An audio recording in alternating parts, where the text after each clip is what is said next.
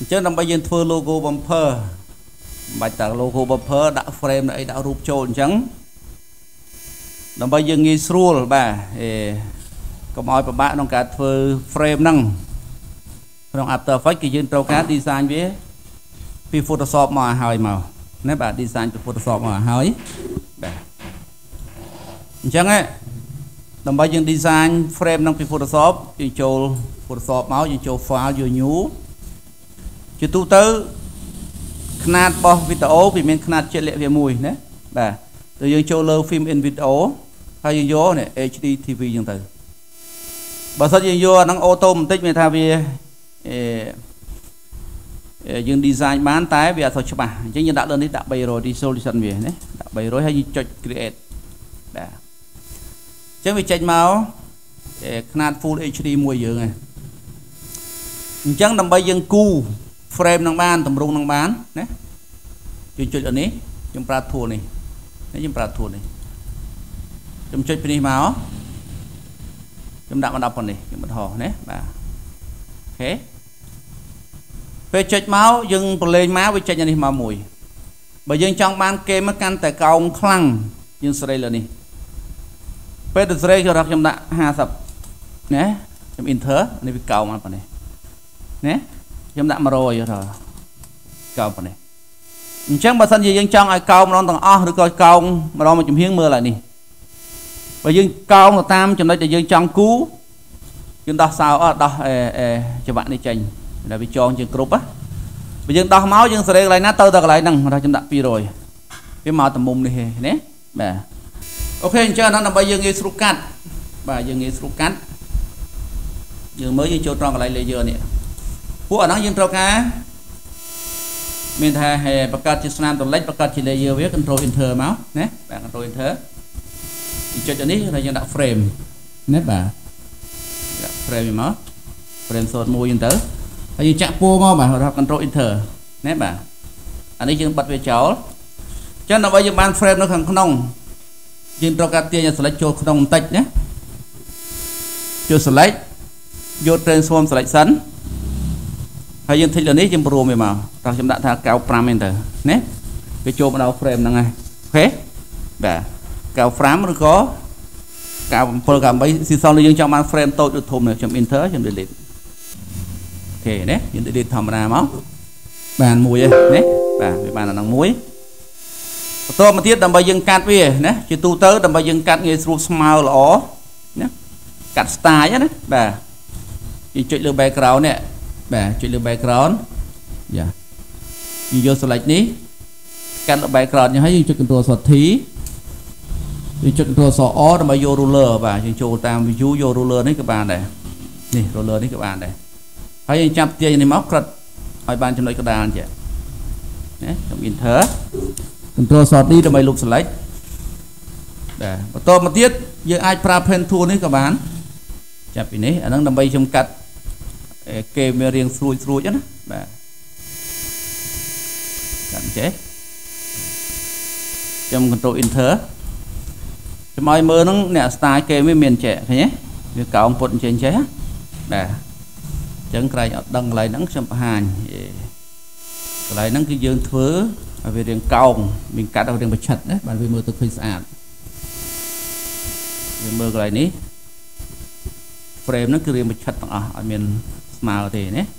យើងដាក់ប្រឆិតនេះនេះបាទគេអញ្ចឹងដើម្បីយើងធ្វើអានឹងឲ្យបានមើលទៅប្រឆិតអញ្ចឹងកាត់ចឹងហើយយើងចូល selection ណាចូល transform selection យើងបរិចវាទៅណាបាទយើងបរិចវាមកចុចបរិចធំទៅហើយដាក់ក្នុងចំកណ្ដាលធម្មតាណាបាទដល់ពេលយើងដាក់ក្នុងចំកណ្ដាលយើងកាត់មកវាស្មើគ្នាល្អហើយ នេះខ្ញុំគាត់បង្ហាញណាបាទអូខេដាក់អញ្ចឹងមកកដាលយើង enter យើង delete លើ frame ហ្នឹងវាដាច់ចេះតាអញ្ចឹងមកណាតាអញ្ចឹងមកអូខេអញ្ចឹងអាហ្នឹងបើសិនជាយើងចង់ព្រមវាឲ្យតូចយើងក៏ control short T មកណាបាទអេ control short T អេព្រមវាតិចទៅតែដាក់នេះចំកដាលវាវិញណានេះ អានេះកដាលនេះកដាលអានេះកដាលមកវាស៊ីគ្នាជាង enter បាទតតបទៀតយើងគូនៅខាងក្រៅអាខាងក្រៅខ្លីមួយនៅខាងក្រៅនេះបាទខ្លីតិចនៅខាងក្រៅហ្នឹង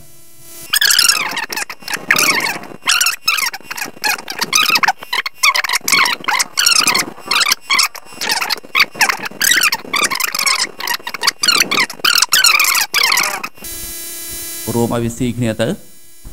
ចំណុចកណ្ដាលដាក់លើចំណុចកណ្ដាលប៉ុណ្ណឹង enter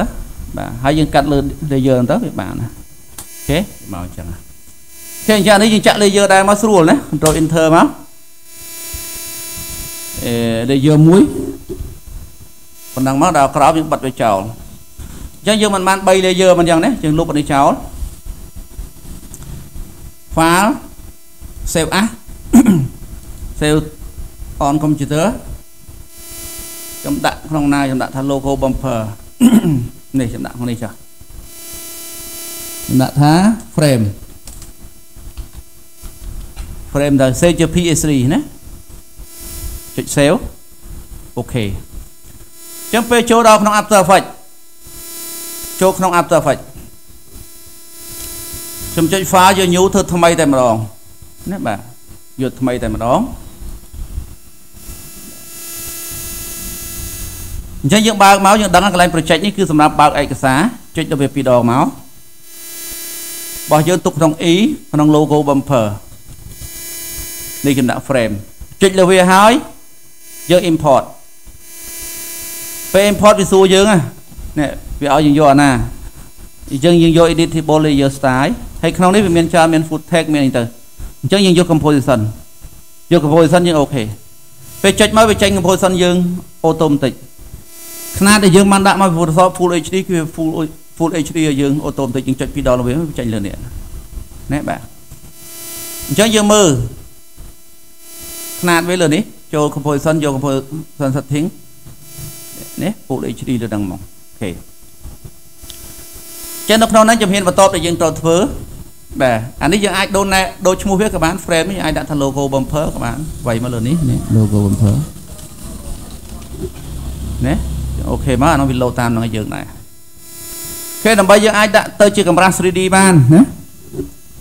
ខ្ញុំចុចលើវាអាហ្នឹងយើងចូល layer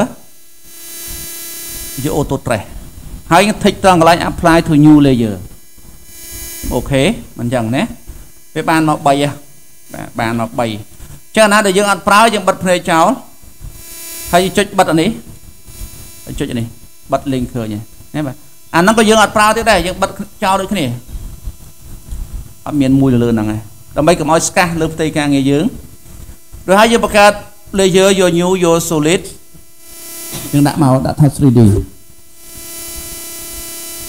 យើងដាក់ថា 3D ខ្ញុំអូខេយើងចូលលើ effect and preset ណាអូសមកក្រោម video copilot យើងទាញ element 3D ចូលមកក្រោមមកណាបាទនេះយើងដាក់5 10 second បានណាកុំយកវែងពេកណា ចឹង element 3D មានណាអាផ្សេងផ្សេងកុំខ្វល់បាត់លើនឹងបាត់តែវានៅដូចគ្នាដល់យើងចូលលើ custom layer ត្រង់កន្លែង custom text and mask យើងមិនយកវាម្ដងមួយមិនចឹងនេះ auto frame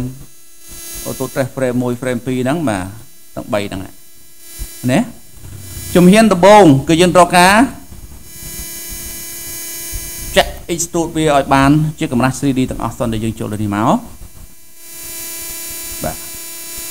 ទីមួយយើង extrude បាទនេះវានៅធំក្នុងក្រៅបាទនេះបរួមចូលមកបើសិនយើងចង់អាទី1ហ្នឹងបានអីរ៉ានេះយើងដាក់មក frame យើងឃើញថា frame យើងដាក់ frame មកអឺដាក់ការងារចំណាដើម្បីយើងងាយស្រួល frame 01ហ្នឹងទៅបាទហេបន្តមកទៀតយើង extrude បន្ថែមទៀតតែយើងដូរលើនេះដើម្បីបានដាក់លេខ2មកបញ្ចូលនៅ frame ក្នុងហ្នឹង ណាបាទចានេះ frame 02ណាបាទ frame 02វាចេញជា 3D ហើយអូខេ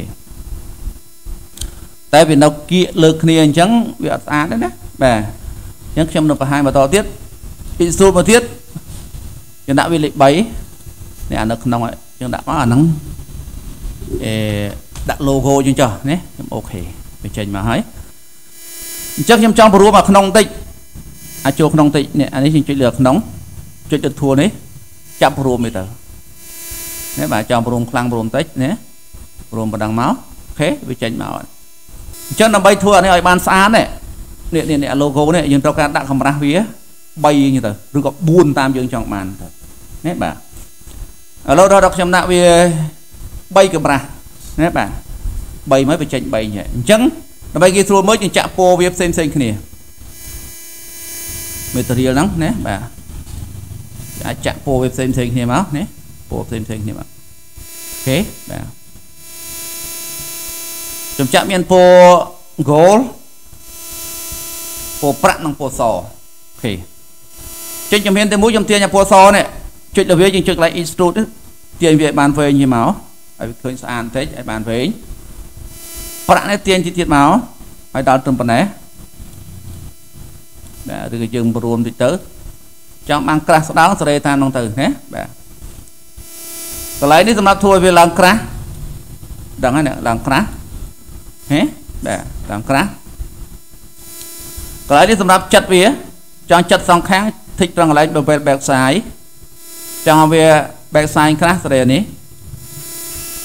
អាគេមឡើងក្រាស់សេរីឡើយនេះណាបាទអូខេយើងអាចប្រូមែនតិចទៀតក៏បាន បើយើងចង់ទាញវាចូលមកដល់កដាលនេះយើងប្រាច់ចុចលើធួនេះទាញត្រង់កន្លែងសិតអោសិតទាញដាក់មកកដាលជាមកហេបាទនេះតបទៀតអាពណ៌មាសនេះចុចទាញវាធំហ្នឹងទៅបានដល់ប៉ុនេះ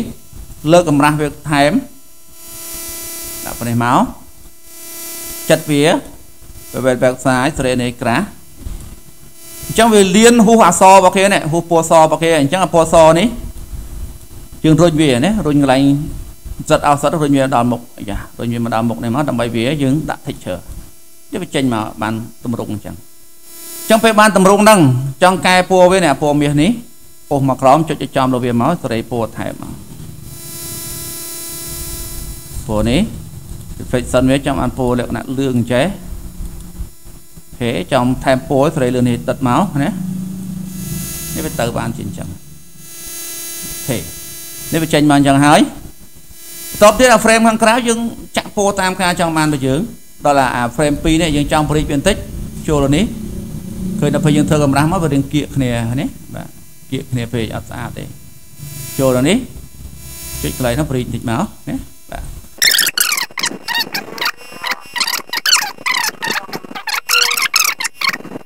ពេលយើងធ្វើអញ្ចឹងយើងចាក់ពោចាក់ភ្លឺវាយកនេះមកភ្លឺ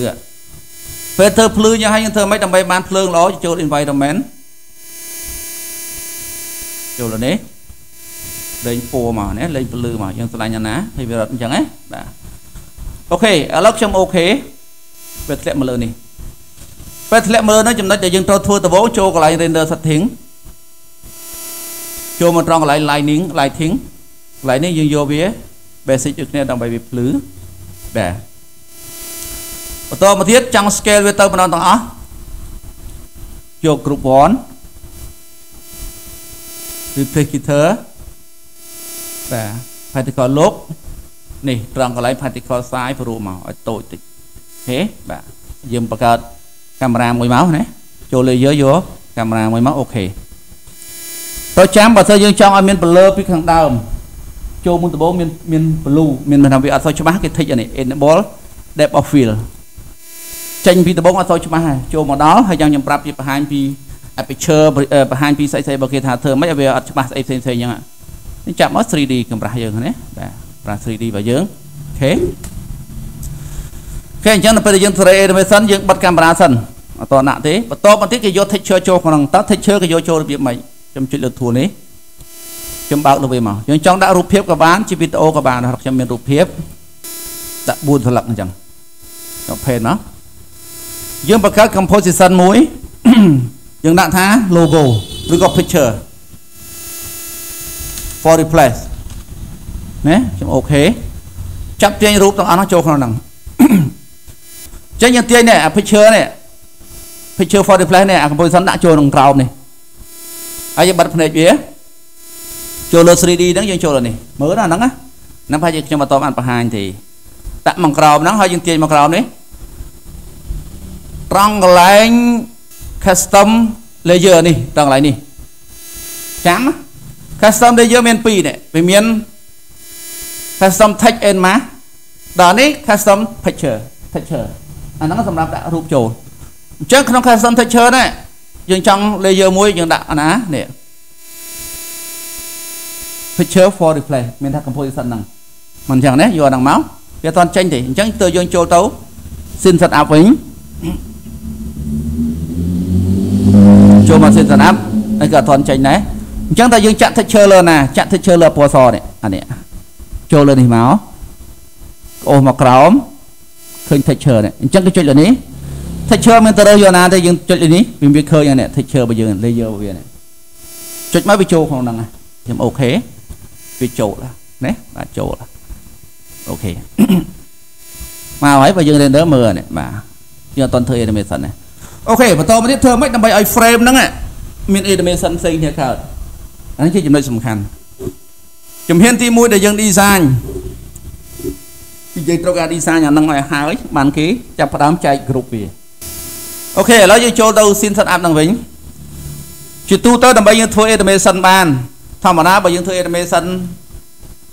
យើងអត់ចែក group ចែកអីវាទៅតែមួយទៅទាំងអស់បវលបវលទៅទាំងអស់មិនចឹងខ្ញុំឧទាហរណ៍ជាក់ស្ដែងលើហ្នឹងខ្ញុំចង់បវលវានេះណាចាំបវលវល់វល់ទៅទាំងអស់អញ្ចឹងឃើញទេបាទចឹងដើម្បីបវលបានតាមរបស់យើងហ្នឹងក្នុងនេះយើងដឹងហើយយើងចែកវាដាច់ដាច់ logo frame 1 frame 2នេះ group បាទអញ្ចឹងយើងចុចកែឈ្មោះ group យើងដាក់ group 1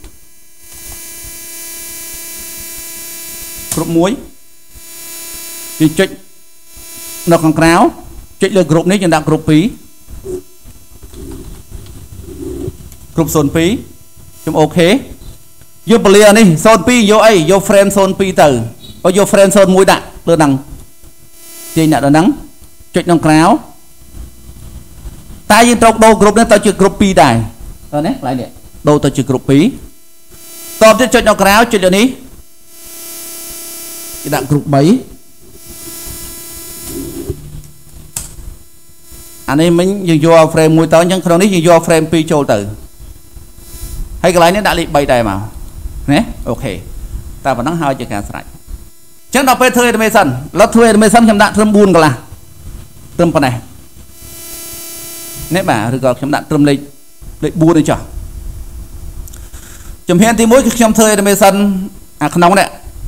ខ្ញុំសិតវាត្រឹមប៉ុណ្ណេះចង់វាវល់ smooth ល្អពេលយើងសិតហ្នឹងគឺយើងត្រូវការចុច F9 មិនចឹងណា easy key គេណាបាទនេះ rotate ហ្នឹងចុច F9 ទាញមកក្រោយនេះវិញចាំបានប្រហែលជុំខ្ញុំដាក់360ដឺក្រេណាបាទហ្នឹងវាវល់ចឹងណាឡុកចូលមកចង់បានកម្រាស់ចាំសេរីតាមក្រោយនេះមួយអូខេអញ្ចឹង frame វាចូលមកតាមក្រោយដាក់ត្រឹមប៉ុណ្ណេះ បិទអាគ្រប់មួយចោចូលគ្រប់ទី2ត្រង់កន្លែង particle look ដូចគ្នាអេ particle ហ្នឹងហើយ particle look អូមក rotation នៅនេះណាបាទនេះ rotation particle reflector rotation thích អាហ្នឹងដូចគ្នាបាទអញ្ចឹងយើងបិទអាគ្រប់មួយនេះចោលវិញអ្នកគ្រប់មួយចោលវិញបើកលើគ្រប់2យើងដឹងថាដើម្បីវា smooth ល្អតកន្លែង particle replicator ដែលយើង set key frame ហ្នឹងតកន្លែង rotation យើងចុច F9 យើងអូសមកក្រោយមកយើងចង់បបល់វាប្រហែលជុំដែរខ្ញុំបន្តណាត្រឹមប៉ុណ្ណេះ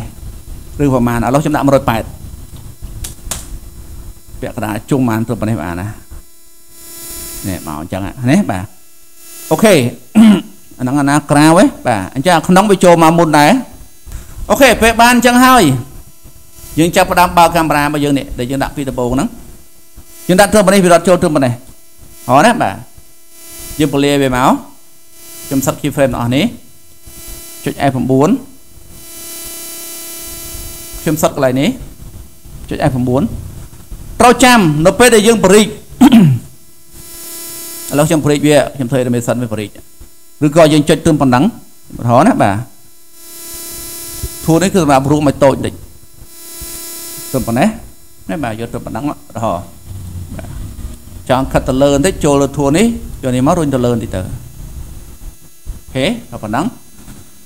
យើងទាញមកដល់នេះខ្ញុំចុចលើធួននេះខ្ញុំបរិចបរិចបាទបរិចប៉ុណ្ណឹងហើយយើងបបល់វាជើឃើញចេះហើយឃើញទីង style 3D បន្តិចខ្ញុំអត់ថ